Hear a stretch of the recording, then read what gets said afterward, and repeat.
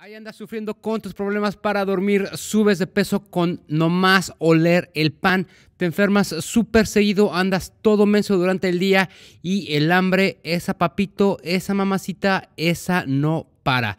Estos pueden ser indicios de que tus niveles de cortisol están altos. ¿Qué es el cortisol? Es la hormona del estrés que se produce en la glándula suprarrenal ubicada en los riñones. Sirve como mecanismo de defensa ante situaciones de estrés, miedo o cuando estamos enfermos, haciendo más efectivo el uso de glucosa y mejorando el rendimiento de los músculos. Eso sucede en un entorno donde tienes que correr para no morir en las garras de un oso. Vamos, son mecanismos primitivos que nos han ayudado a sobrevivir. En nuestra era no tenemos que huir de un oso, pero vivimos bajo constante estrés, estrés crónico y esto se ha encontrado que los niveles de cortisol se mantienen altos a causa de este estrés diario al que nos sometemos y en vez de ayudar nos perjudica y perjudica el funcionamiento del cuerpo. Algunos de los padecimientos ligados a los niveles altos de cortisol son la presión arterial alta, la diabetes tipo 2 y hasta la osteoporosis.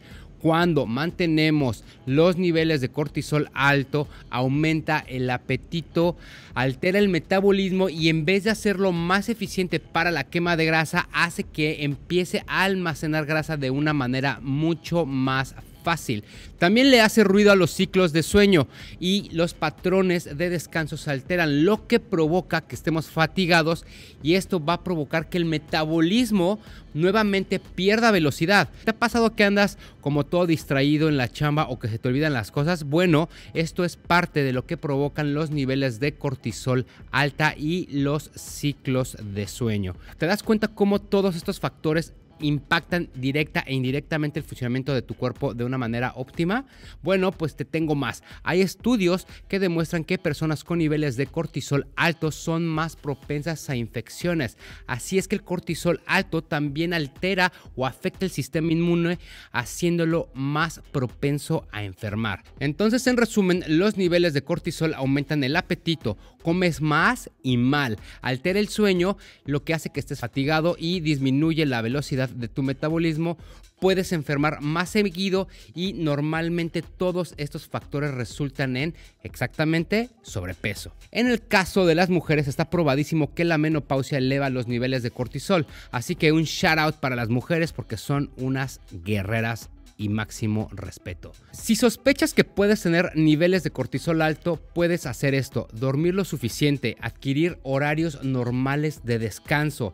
Tampoco sean huevones y quieran dormir 10 horas. Muévete y haz ejercicio, de preferencia en la mañana. No hay mucha certeza con esto, pero así le podrías ayudar a bajar los niveles de cortisol durante el día para que en la noche te dé oportunidad de dormir mejor. Evidentemente una dieta sana ayuda y se ha comprobado que los alimentos con fitonutrientes, que básicamente son las frutas y los vegetales, son de gran ayuda para controlar los niveles de cortisol y mantener sano tu bioma, que es la bacteria buena que está en tus intestinos y se encargan de hacer que los nutrientes de la comida sean absorbidos de una manera eficiente. Entonces, aquí el consumo de probióticos y prebióticos también pueden ser clave para ayudarte con el cortisol. También hay algo que se llama ashwagandha que eh, tiene varias propiedades, entre ellas dicen que controla el cortisol, aunque no está comprobado, y tiene algunas propiedades afrodisíacas que estaremos tocando en el siguiente episodio. Entonces, ahí está para que luego no preguntes por qué no bajas de peso y duermes de la chingada.